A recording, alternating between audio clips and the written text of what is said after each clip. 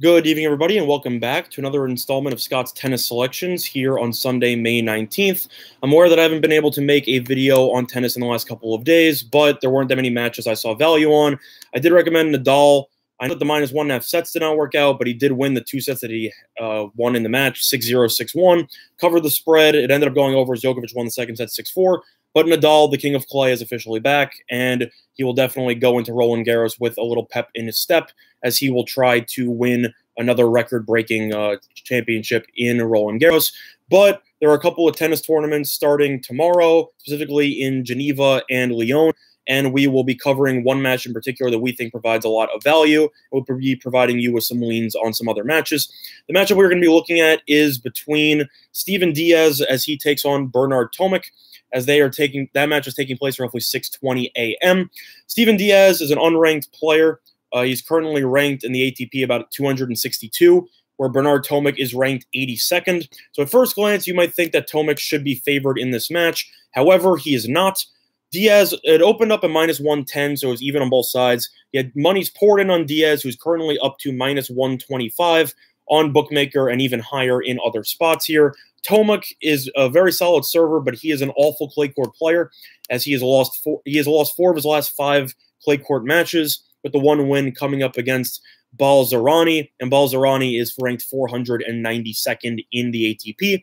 Meanwhile, Diez had to qualify here very impressively, as he won in three sets against Popyrin and Halys. If you don't know any of those two people are, they are both very big serving tall guys. So pretty much exactly what Tomic likes to do. Diez has, was able to beat similar type of players in the first two rounds of qualifying in Lyon, and he will be taking on Tomic in this match. We like to, we like Diez on the money line here.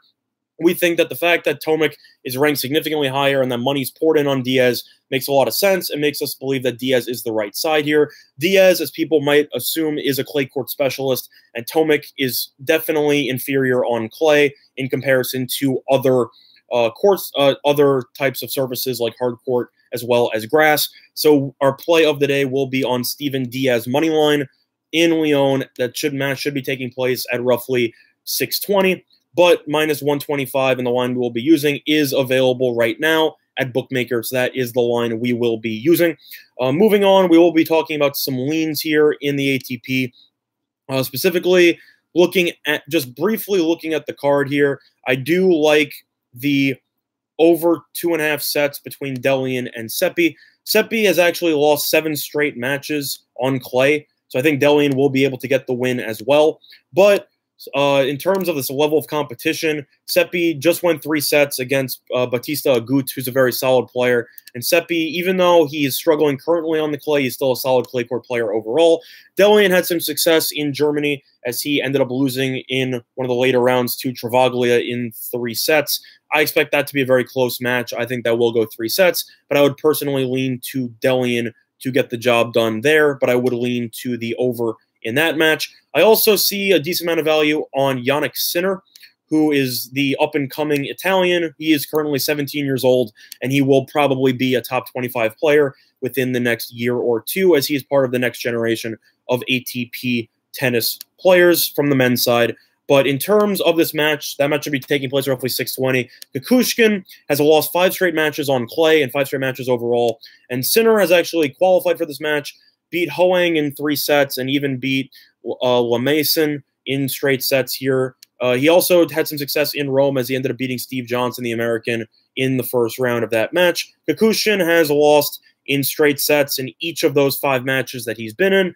The competition has been pretty, you know, tense, so I can understand that. But overall, for me, I would personally lean to Jannik uh, Sinner here. I think there is value there, roughly plus 104. He opened up at roughly plus 125 down to plus 104 in most spots. So money's coming on him. I think it makes sense. Kukushkin has not looked great on clay so far in the last month or so. So I would personally lean to Sinner in that match as well.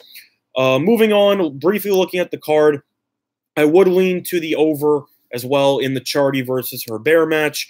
Herbert has been struggling lately, but these two have played each other, and they're both in France. They have played previously last year in the French Open. That went to five sets. They played a while back earlier on on clay. That went to three sets as well. Chardy, with the exception of getting destroyed by Nadal in his last match, has actually been pretty solid on clay. But Herbert is also good on clay, and both these will be in front of the home crowd. I expect him to put on a show, and I think that will go over as well. But the play of the day, as I said before, will be on the matchup between Steven Diez as he takes on Bernard Tomic, and we like Diez here at minus 125 on the money line, which is available at Bookmaker. Other than that, that's going to do it for this installment of Scott's tennis selections here for Sunday, May 19th. And good luck to all of you and your respective bets.